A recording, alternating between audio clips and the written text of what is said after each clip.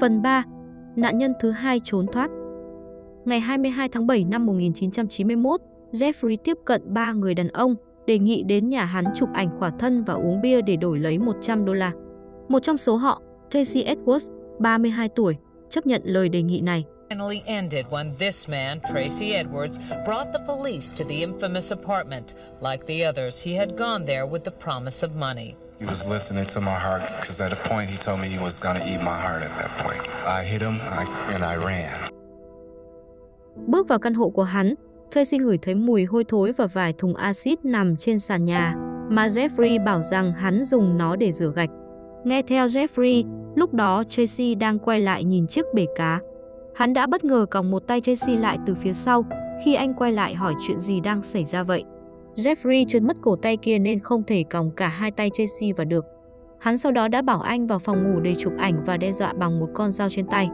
Tại đây, Tracy thấy có những tấm áp phích đàn ông lã thể trong phòng và một cuốn băng cassette của bộ phim Quỷ ám 3 đang chạy trên TV. Ở góc phòng là một chiếc thùng phi 215 lít tỏa ra mùi hôi thối nồng nặc. Jeffrey sau đó đã thủ sẵn một con dao, yêu cầu Tracy chụp ảnh khỏa thân. Để thỏa lòng Jeffrey, anh đã khôn ngoan cởi cúc áo, cho phép hắn làm vậy nếu hắn bỏ dao ra. Đáp lại Tracy, Jeffrey quay đầu ra hướng trước TV, đu đưa và tụng một thần chú gì đó trước khi hướng sự chú ý của hắn quay lại phía anh.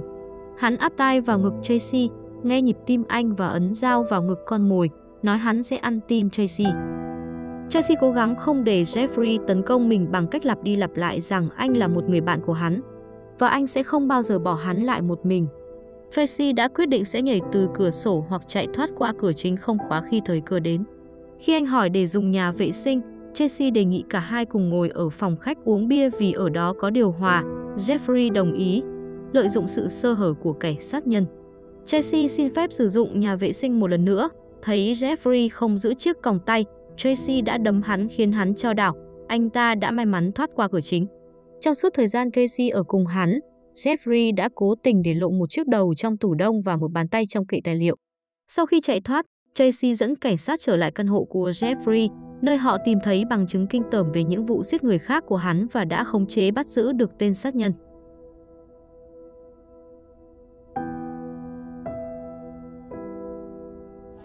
From our investigation, we feel that this individual strongly is involved in other homicides. Uh, we have taken evidence out of the building by the medical examiner to be examined. Police removed boxes and boxes of body parts, evidence of what appears to be a psychopathic mass murder. Authorities also took out a barrel of what they think is acid. Police are reluctant to reveal exactly how many victims there might be, but knowledgeable investigators say it could be more than a half a dozen. However, no one suspected the accumulation of dead bodies. And the next thing I know, I heard the police open the refrigerator door and they said it was a dead body in there.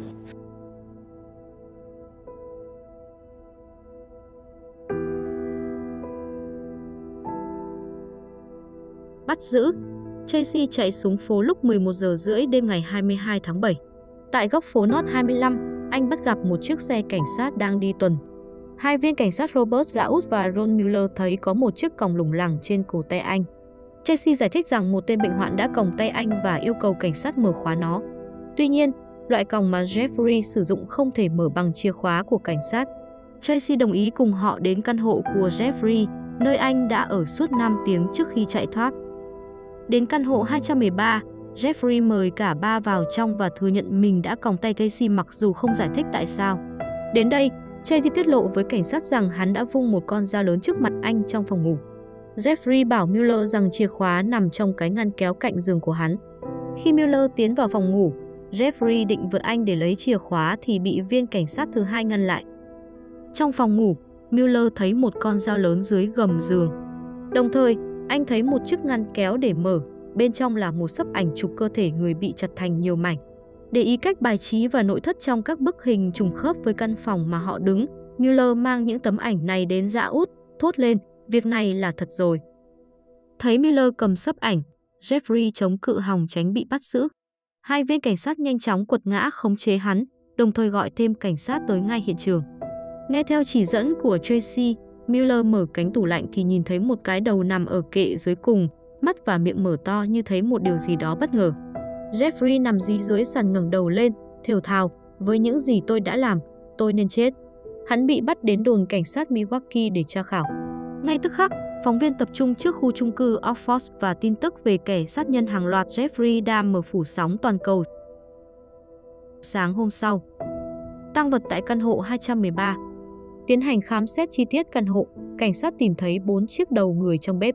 7 cái sọ hoặc được sơn hoặc được tẩy trắng được tìm thấy trong phòng ngủ và tủ quần áo của hắn. Đồng thời, cảnh sát tìm thấy một cái khay hứng máu ở kệ đáy tủ lạnh, hai quả tim và một phần cơ tay người được bọc trong túi bóng. Trong chiếc tủ đông là cả một cái thân người đang bị dốc thịt sở, cộng thêm những túi bóng đựng nội tạng và thịt người dính vào đá ở dưới đáy. Đâu đó trong căn hộ 213, cảnh sát còn tìm thấy hai bộ xương người hoàn chỉnh, một đôi bàn tay, hai chiếc dương vật bị chặt lìa và bảo quản. Một mảng da đầu được ướp. Trong góc phòng ngủ của hắn còn có một chiếc thùng phi 215 lít chứa phần thân của ba nạn nhân đang phân hủy trong axit. Tổng cộng 74 tấm hình chi tiết về quá trình chặt xác được tìm thấy. Đề cập đến vấn đề khôi phục các tăng chứng từ căn hộ 213, nhân viên giám định pháp y đã nói rằng đây như thể đang khám phá bảo tàng của một con quỷ bệnh hoạn hơn là hiện trường một vụ án mạng. Lời thú tội Dạng sáng ngày 23 tháng 7 năm 1991, thám tử Patrick Kennedy phỏng vấn Jeffrey về những vụ giết người hắn gây ra và tang chứng tại căn hộ 213. Trong suốt hơn 2 tuần sau đó, thám tử Patrick Kennedy và Patrick Murphy đã thực hiện tổng cộng hơn 60 tiếng đồng hồ phỏng vấn Jeffrey. Hắn từ chối quyền có luật sư trong suốt quá trình khai cung, nói rằng tôi đã tạo ra thứ kinh khủng này và đây là cách duy nhất để chấm dứt nó. Hắn thừa nhận đã giết 16 người ở Wisconsin trong khoảng thời gian từ năm 1987 đến 1991 và án mạng của Stephen Hicks ở Ohio năm 1978. Phần lớn nạn nhân của Jeffrey đều đã bị bất tỉnh trước khi bị giết. Một vài nạn nhân tử vong do bị tiêm axit hoặc nước sôi vào não. Vì không có ký ức gì về vụ án của Stephen Toomey, Jeffrey không thể chắc rằng liệu anh đã bị bất tỉnh trước khi bị giết hay chưa. Uh, was just planning on drugging him and uh, spending the night with him. I had no intention of hurting him. When I woke up in the morning, he uh, had a broken rib here, uh, was heavily bruised. Apparently, I had uh, beaten him to death with my fists. And you have no memory I of have it? no memory of it. But that's what started the whole spree all over again. Dahmer says Hắn thừa nhận rằng hắn giết Steven khi thấy bộ ngực trần của anh trong hơi men khiến hắn đã cố để phanh nó ra nhưng không thành. Hầu hết các vụ án hắn gây ra tại khu chung cư Oxford đều theo một trình tự nhất định bao gồm tạo dáng và chụp ảnh các xác chết trong các tư thế gợi tình trước khi bị chặt thành nhiều khúc. Jeffrey thừa nhận đã dính dáng đến ái tử thi trong một số vụ, như việc thực hiện những hành vi thủ dâm với nội tạng của nạn nhân khi cưa xác họ trong bồn tắm. Để ý thấy máu tụ nhiều vào ngực nạn nhân sau khi chết, Jeffrey bỏ nội tạng ra trước, sau đó treo ngược cái xác lên để máu chảy vào bồn tắm. Những phần nội tạng hắn không giữ, đều được sẽ cắt thành từng miếng nhỏ. Jeffrey sau đó róc thịt khỏi xương, giữ lại một số phần xương hắn thích và phần còn lại sẽ bị nghiền vụn hoặc phân hủy bằng axit. Hắn còn sử dụng Soilex và thuốc tẩy để tẩy trắng xương và hộp sọ mà hắn muốn giữ. Jeffrey cũng khai rằng hắn đã ăn tim, gan, thịt tay và thịt đùi của vài nạn nhân hắn giết trong năm trước đó. Khi nói về tần suất giết người gia tăng của Jeffrey trong hai tháng trước khi bị bắt, hắn nói rằng mình đã bị cuốn theo sự cuồng sát. Đó là một khát vọng vô biên để được ở bên cạnh một ai đó bằng bất cứ giá nào. Khi gặp một ai đó thật đẹp, họ cứ quanh quẩn trong đầu tôi suốt cả ngày.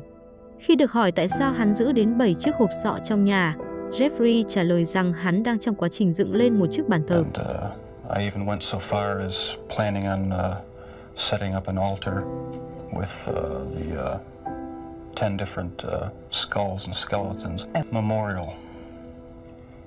Uh, a, a point where I could. I don't know.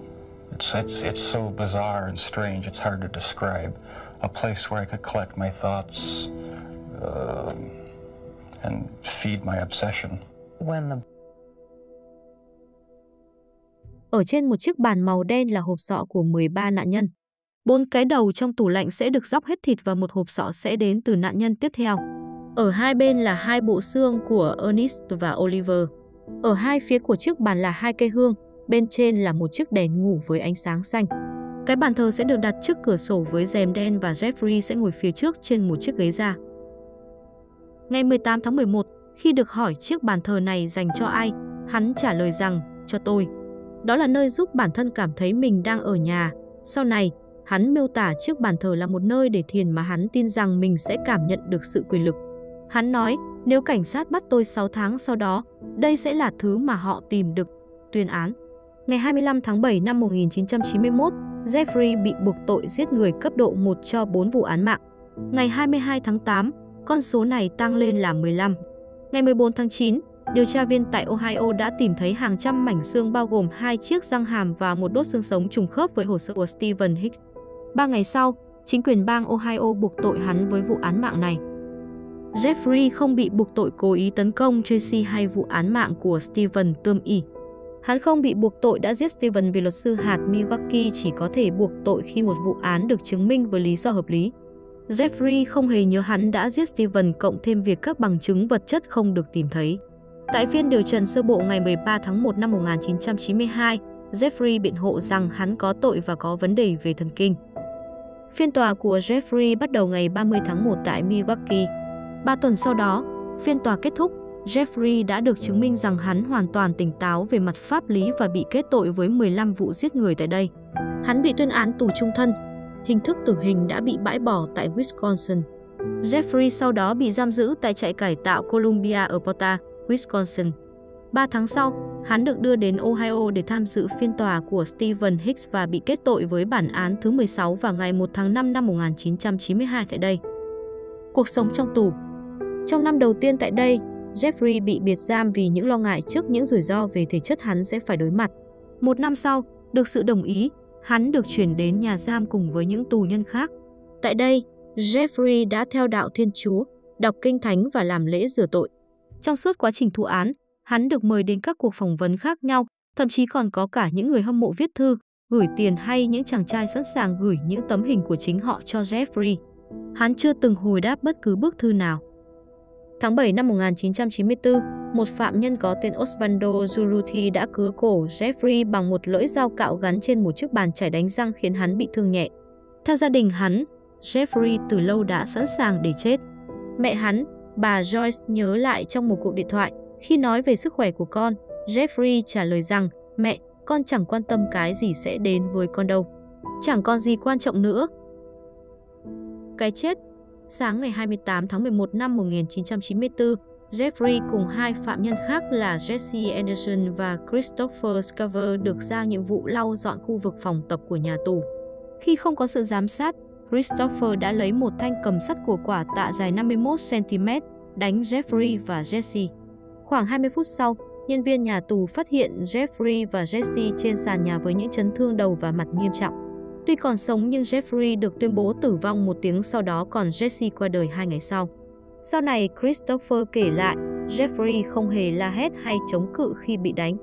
Hắn nói rằng hắn giết Jeffrey và Jesse vì cả hai đã cười cợt và trêu chọc Christopher. Trong quá trình trong tù, Jeffrey thường lấy đồ ăn nặn thành hình chân, tay, cơ thể người bị chặt thành nhiều mảnh và dùng nước sốt cà chua để làm máu để khiến mọi người sợ hãi. Jeffrey còn liên tục khủng bố các sĩ quan cảnh sát bằng sự hài hước bệnh hoạn. Nếu anh ta thấy một lính cây lo lắng và đứng đủ gần để nghe thấy anh ta, anh ta sẽ nói, tôi cắn đấy. Trước cái chết của con trai, bà Joyce giận dữ phản hồi với truyền thông, giờ các người vui rồi chứ.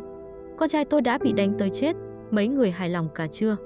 Hầu hết các gia đình nạn nhân đều hài lòng trước cái chết của Jeffrey, một vài người trong số họ vẫn bày tỏ sự thương tiếc. Theo di nguyện của Jeffrey, Hắn được hỏa táng và cho cốt được chia cho gia đình Jeffrey Dahmer.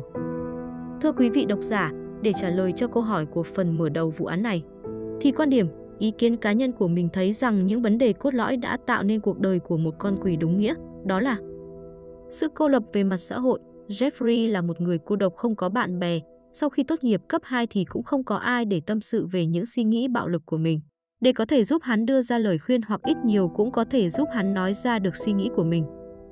Sự kỳ thị của xã hội vào thời đó là người đồng tính và mắc bệnh tâm thần là những điều mà hắn không thể công khai tiết lộ được. Thiếu thông tin và kiến thức. Đây là thời kỳ chưa có Internet, khoa học tâm lý sẽ kém phát triển hơn rất nhiều so với ngày nay, sẽ không dễ dàng tiếp cận với các chuyên gia sức khỏe tâm thần. Đồng tính luyến ái sẽ bị liệt vào dạng rối loạn tâm thần vào thời đó cũng vậy, vì vậy chất lượng chăm sóc cũng sẽ kém chất lượng và cung cấp thông tin sai. Ức chế, thờ ơ và thiếu suy nghĩ về bản thân, Hắn sẽ cố gắng phủ nhận những suy nghĩ và cảm xúc của mình, khiến chúng tăng cường độ lên theo thời gian đến mức trở nên ức chế. Hắn không tiếp xúc với cảm xúc của mình, có thể là do khuynh hướng di truyền, cũng có thể là do cuộc sống gia đình. Cuộc sống của Jeffrey vô cùng tẻ nhạt. Hắn không có sở thích, mối quan tâm thực sự nào để làm động lực cho bản thân mình. Gần như chỉ có một mình, công việc hời hợt, về nhà, đi bar, xem phim khiêu dâm. Nghiện rượu từ năm 14 tuổi. Đây cũng là một trong những lý do khiến con người hắn trở nên bạo lực và thú tính hơn ai hết. Cảm ơn quý vị độc giả đã xem hết kỳ án lần này của Justice TV. Xin chào và hẹn gặp lại.